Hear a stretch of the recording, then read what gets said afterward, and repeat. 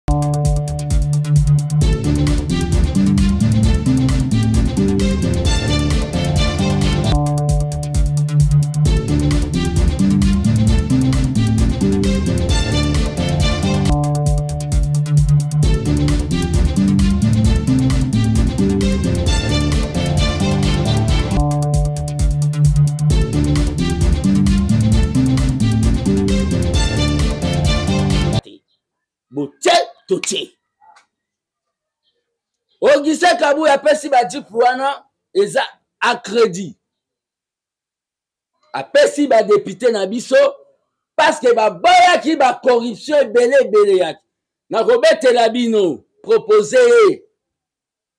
100 000 dollars aboyi aboyi yango nde omoni tobimisi senatere moko soki kaka azwaki 100 dollars na tonga tobimisa te eloko ezopesa bato motema mabe les gens ne s'attendaient pas na miracle augustin kabuya asali na assemblée nationale toa numéro 1 na sénat toa numéro 1 toyebisaki bino bokomesana histoire oyo kise kabuya asali na yo moto ozokenda na mozole ya tshisekedi kuna okende se okoloba ba n'importe quoi mokomi so okende omoni kaka loboko mo ebimi ebendi ekotisi yo na tombo mbala moko parce que meme tshisekedi kuba jani place azali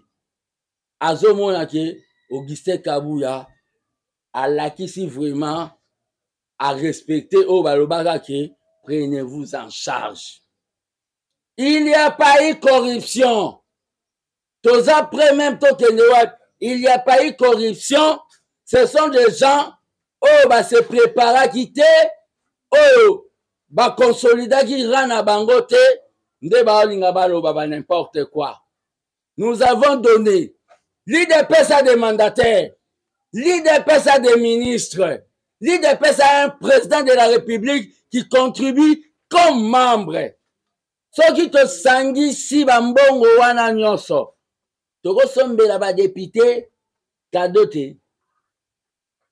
L'IDPS a des milliers de, de combattants. Na ville province ya Kinshasa eza ya, ya plus, plus ou moins na exode rural esami ya plus ou moins oyo balobi 15 millions d'habitants. L'IDPS akozala na 5 millions ya bandimi. So batie 1 dollar ndenge tokotizaka esala 5 millions de dollars tokosombela badepute ba jeep te au moment où il faut to penser mambo est on vient que on a corrompu le député on a corrompu tozwi yango na crédit parce que bato bayebi na domaine ya bafaire une personne morale oyo leta azo reconnaître akoki kokende na dans une banque azwi crédit mpo azongisa panda mpo bayebi ke akozalaka azalaka laisse nous tranquille nakozongela su makambo yango ya bajipe monsieur george kapiamba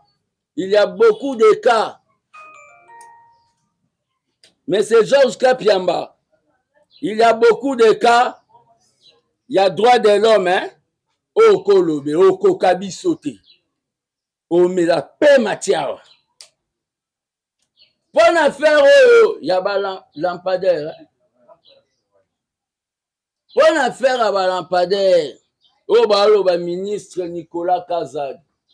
alie mbongo soki alia mbongo epa na biso baluba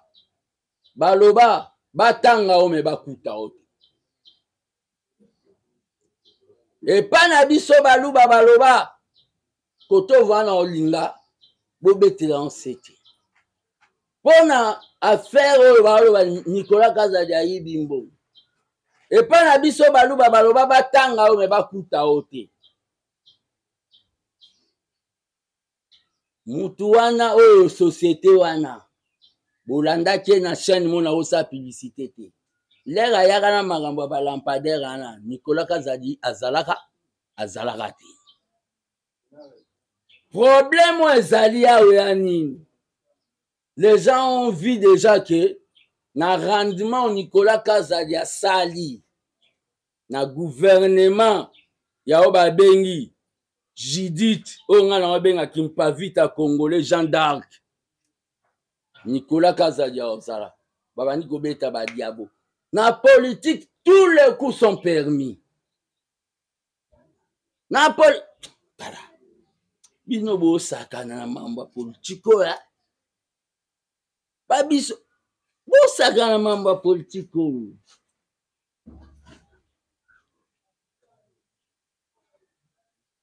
bozosakana na mambo ya politike bakobambela eloko mo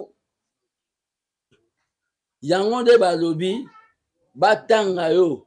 bakuta yo te passe dans des médias obandi koloba vous savez bato wana methode na bango eza nini nayeba george kapiambo oyo methode na bango eza nini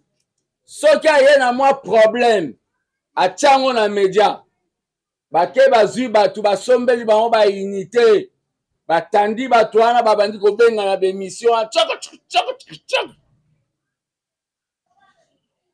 Est-ce que nous pouvons corrompre nos propres députés balakisa biso député moko ata ya parti fumbwa to parti madesu oyo gisai kabuya apesaki jeep mpo mpo daniel bumba abima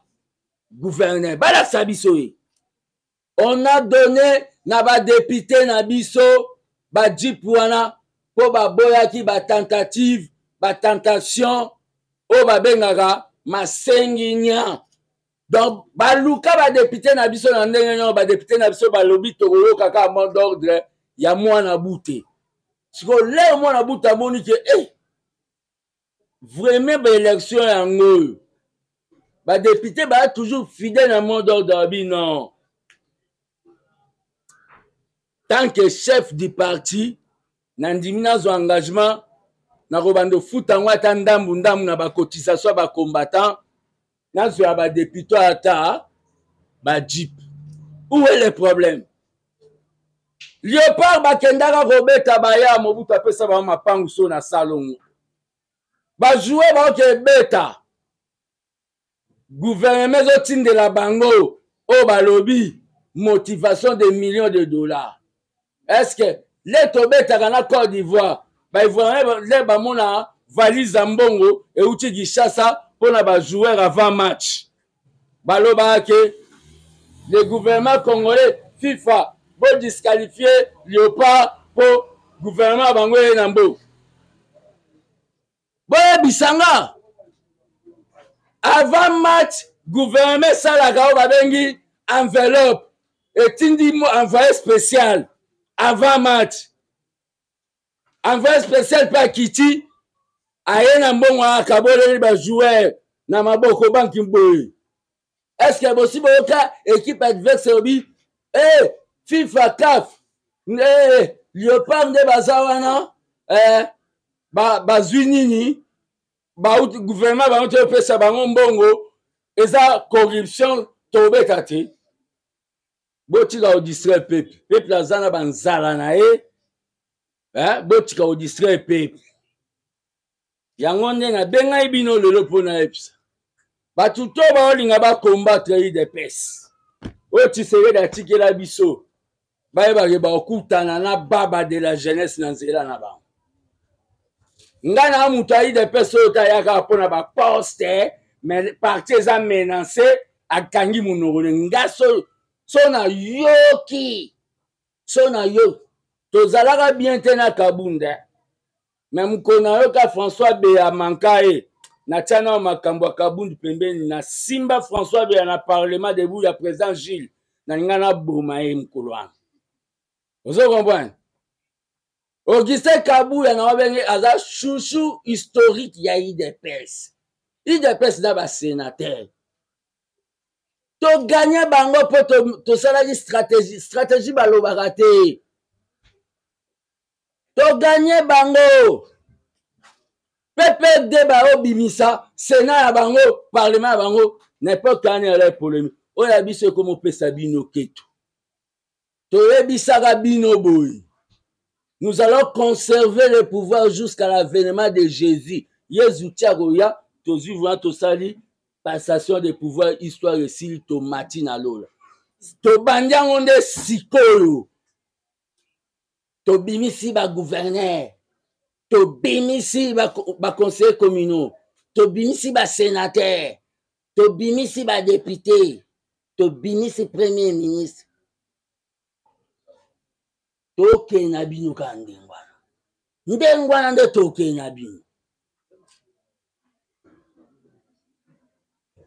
Kapiamba. Il y a beaucoup de so Georges Kapiamba. Il y a beaucoup de nini omoni babino bato misusu a il y a beaucoup de nini baka ya badroit de l'homme ya kolobela ba este kuna justice justice nabeti se te nabeti se te cardinal ambongo c'est un citoyen comme tout autre na france bakanga cardinal pendant six mois tolandaka mpe makambo mosusu tomona teke neti tolingi to, to, nous sommes venus inventer la roue cardinal ambongo va aller répondre oyo tu bozolinga boloba o oh, le, le clergé l'état et plus que l'église catholique Le cardinal Ambongo n'engage pas toute l'église catholique. Ba propos na ye etia bato ebele mal à l'aise. Est-ce que ba propos ya Ambongo etia ba ba catholique ya Goma, ya Masisi, ya Gunaganda à l'aise? Oyo oh, baza prise en otage epai ba bandi ya M23. Etia bango à l'aise te. na bamakambo nyonso toza na moma oyo que ça soit makambo ya nicolas kazadi tozala na oyo babengi retenu contrat wana lere eyaka nicolas kazadi azalaka te mpe na mboka na biso baloba batanga yo me bakuta yo te je dis je vous remercie ya lion lemso ekoya lemso eyalaki viole me ya mbongo sikoyo eza vraimen koloba ke bato oyo bake na fleuve congo bakozala mpe na raison donc bato oyo bakozwa minduki mpo babouge mpe kimia batika ye soki ezalaki yo baninga batika yo donc ambongo aza na makila ya sokola yo nde oza na makila ya libata c'est un individu comme tout autre individu il faut répondre aexplike makambo nini alobaki yango aexplika baliturgie na église catholique makambo ozoloba ya moment moment moment mutu na mutu je dis bien laissez j'ai observé okomana laissez je observer laissez je vous savez que laissez je observer nos députés soki bako yoka mot d'ordre ne lelo akonstate te badepute bayoki mot d'ordre ne alobi non na riske kozwa crédit napesa bango baji edependaki d'abord ekodependre mpe na bagymnastique administratif na niveau ya ba ya agence oyo bakenda kozwa biloko wana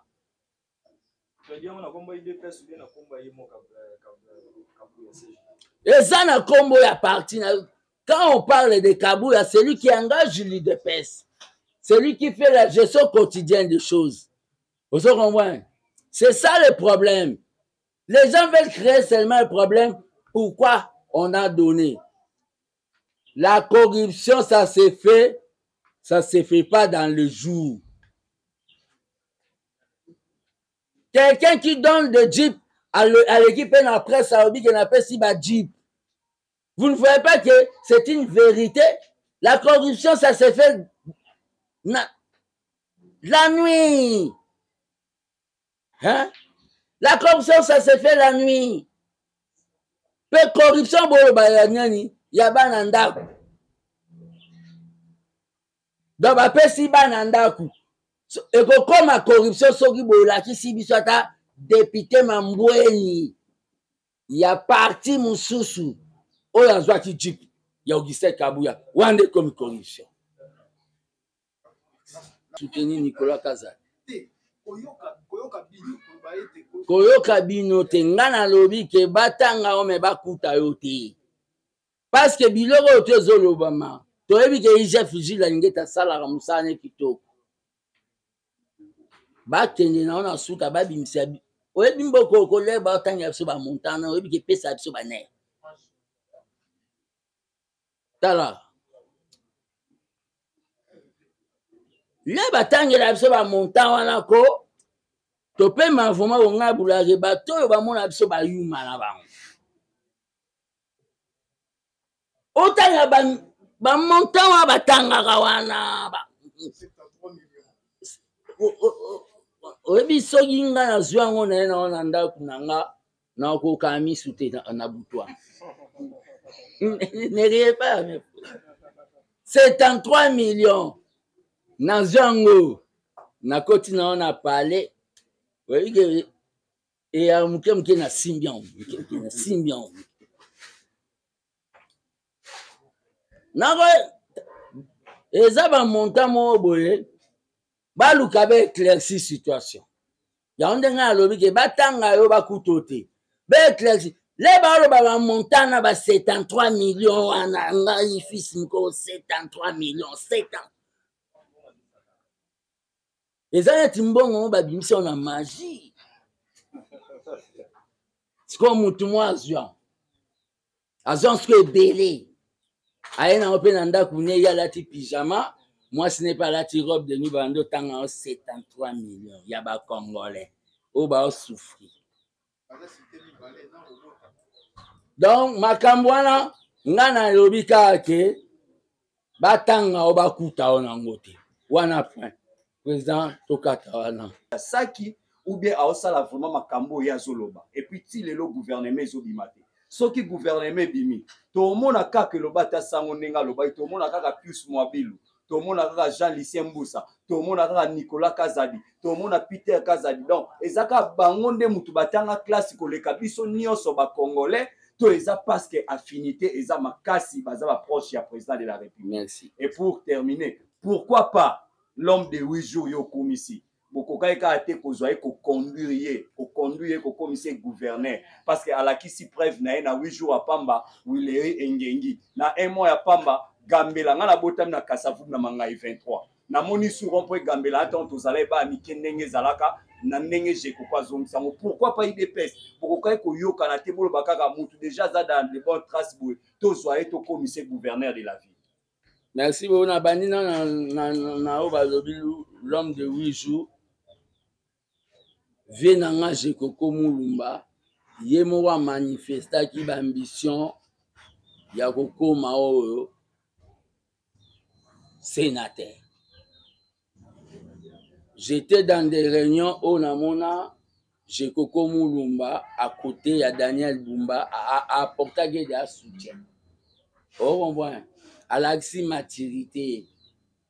akozala pembeni mpo ayebisa eke nabetaka boye nabetaka boye wana point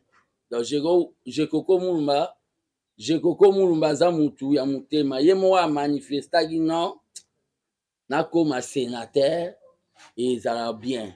wana eza point mpo na sort ya bacombattant oyo basoutenai daniel bumba te wana mama c'est vrai je suis l'unique oyo asoutenai daniel bumba oyo nandimai na nga ke tokufa na ye nous mourons ensemble nous vivrons ensemble me nayebisi ye kaka ke namona mpo nga so namoni te na ezitaka te kotya bale mbala moko eh, tan mpo na makambo mosusu kesio tuni olobi ya nini bacombatant akobanda oyamba bango mpo na minito aza susu gouverneur tike gagnant ya idps te akomi tike gagnant ya bakinoise na bakinois nyonso aza tike gagnant ya bakinois na bakinois nyonso yango nde nazo profite mpo nayebisa eke na soutenaki ye naoluka tokutana mpo nga mpe naa na cahier de charge na nga oyo oyo eza ke nga mpe naa na cahier de charge na nga ya baproposition par rapport nde tokobooste bafere yango question mosusu otuni oyo ya renouvellement le fils moko asala baconférence de presse boye so 50 caméra boye bajeune combien basala yango na minute oyo baza na mambo ya barene adidas eh? ozo comprendre na minute oyo olie bajeune tozala naomona bamasta na ngai na sénégal bapemi bango de moko président moko premier ministre kokota baokota boye babeti mbala mo projet ya baloso tala los donc projet ya 3000 nabi mpe nayebisa le nayebisaka bato nakoma président président sénégal oyo namona nde baola nde bakange nde balinga banda olanda bakanga fils mko na marche auti lola te auti lola te na moment oyo ozoloba renouvellement ya classe politique la jeunesse se considère comme salle d'attente yango monaki e eh, eza ba bapepe mboso bapepe mboso mpe balingi olongwa te biso to nga papa na nga mokoko asa politike te nabima nete liyebo bwa nasali identité kokanga kobeta kokanga kobeta kokanga kobeta kokanga kobeta esali mbala moko identité fils mokoko ba jeune baa na makambo inutile ba jeune basuki ke abala ne ka so alata alliance pile pile vieux suki na deux chambre salon na momi moko boye na palais esuki olia azala na oyo babengi vision de grande chose sikoyo président aya oloba bolo azwa bato baa na volonté yo mwa ateke faci aza na président ngai alobaki apres ye ngai bajeune baa na vision wana te ils sont dans la distraction ils sont dans des billards au lieu de réfléchir l'état ils sont dans des choses inutiles sikoyo bapere wana bango bango mpe balobi ke baza nanu poto